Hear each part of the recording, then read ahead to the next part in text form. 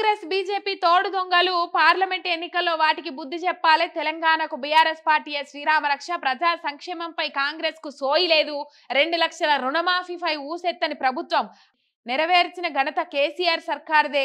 దుబాకలో BRS కృతజ్ఞత సభలో హరీష్ అని చెప్పేసి ఇక్కడ వార్త కనబడతా ఉన్నది. మొత్తం మీద మనం ఇంతకు ముందు చూసినాం ఎవరెవరు తోడు దొంగలు అనేది మనకు అర్థమైంది. అటు ఉత్తమ్ కుమార్ రెడ్డి ఇటు కిషన్ రెడ్డి వాళ్ళ టార్గెట్ అంట బీఆర్ఎస్ఏ.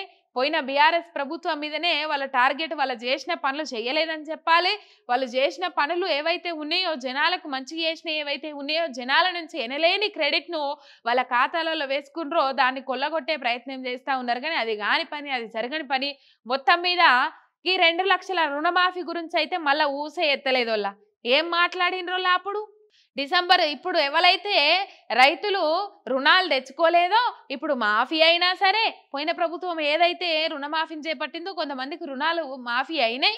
ఇక ఇప్పుడు మాఫీ అయినా సరే మీరు మళ్ళీ పోయి తెచ్చుకోండి. డిసెంబర్ తొమ్మిది తారీఖు నేను రాగానే రైతుల ఖాతాలలో రెండు లక్షలు వేసిస్తాం రెండు లక్షల రుణమాఫీ వేసేస్తామని చెప్పేసి ఇప్పుడు సీఎం రేవంత్ రెడ్డి గారు అప్పటి టీపీసీసీ అధ్యక్షుడు మాట్లాడు జరిగింది. మొత్తం మీద రాహుల్ గాంధీ కూడా మాట్లాడడం జరిగింది. రా వచ్చిన ఇరవై నాలుగు గంటలనే అన్ని గ్యారంటీలను అమలు చేస్తాం. అన్ని గ్యారంటీలకు చట్టబద్ధత తెస్తాం రెండు లక్షల రుణమాఫీ తెస్తామని చెప్పేసి వీళ్ళు మాట్లాడు జరిగింది. ఇంకా కొన్ని రోజులు పోతే లే లే గాముచ్చట మేమేడన్నాం అనలే అనలేదని అంటారు. అంటారోళ్ళ? నిజమంటారు. ఎందుకంటే మనం చూడలేదా? మొన్న నిరుద్యోగ భృతి ఇస్తామని చెప్పేసి వాళ్ళందరూ పెద్ద పెద్ద సభా వేదికగా ఎన్నో లక్షల మంది ఎన్నో వేల మంది చూస్తుండగా వింటుండగా వాళ్ళు రైతు నిరుద్యోగులకు నిరుద్యోగ భృతి ఇస్తాం నాలుగు వేల రూపాయలు అని చెప్పేసి వాళ్ళందరూ ఎంత చక్కగా సిలిక పలుకులు వలికి అసెంబ్లీ వేదికగా మేము ఇస్తామన్నామా అధ్యక్ష? అని అన్నారు. ఇక మరి అంత అప్పుడు అందరూ నోరు తెరిచిన పరిస్థితి ఏర్పడ్డది. గంతే నోరు తెరిస తెరుతాము ఊకుంటాం గంతే. ఇంకేముండదు.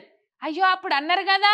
ఇప్పుడు ఎట్లా అంటలేరు అనలేదని అంటున్నారని అంటున్నారు అని చెప్పేసి ప్రశ్నించే తత్వాలు మన దగ్గర ఉన్నాయా? ఉండయి కదా! నిజంగా చెప్తున్నా జనాలు మీరే ప్రశ్నించాలి మీకేది న్యాయం జరుగుతుంది వాళ్ళు ఇస్తామన్నయ్యని ఇస్తాన్రా వాళ్ళు అమలు చేస్తామన్నయ్య అమలు చేస్తాన్రా ఇక రైతు బంధు లేదు రైతు భరోసా దిక్కు లేదు రైతు రుణమాఫీ దిక్కు లేదు ఇక రైతు బీమా ఇద్దరు ఇయ్యరో కూడా చెప్పలేదు. మొత్తం మీద వాటిని అన్నిటిని అటకెక్కిచ్చే ప్రయత్నమే చేస్తా ఉన్నారు.